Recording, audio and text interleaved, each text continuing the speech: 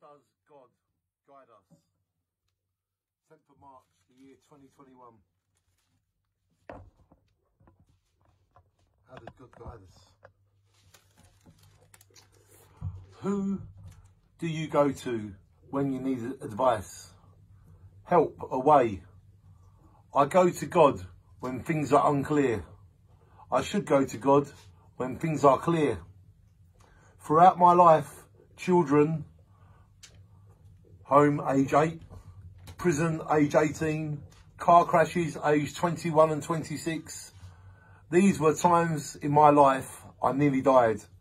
And with my eyes closed, I pray and was telling myself everything will be all right. I knew there was worse. Death is worse. I'm alive. It's never that bad until death. So I get through by believing in me. I knew I was created for much more. If I get a choice, I make a good choice. I always talk over with God in my head and God guides me with the truth. God speaks to me through Bible. Just read the Bible. All answers will come and the truth will set us all free. When I was at my worst, on my knees, I put my hands together. I then pray. God reaches me this way.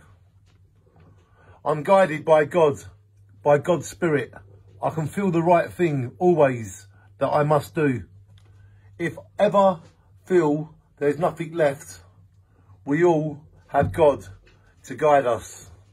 No one is ever alone. We all have God. Amen. And that was from my Alpha meeting tonight with Paul and Karen and Adamos and all the crew. We love you, Alpha crew. And guess what? How does God guide us? That's how God guides me. I hope this helps people. I hope it's relevant to some. But God has helped me throughout my life.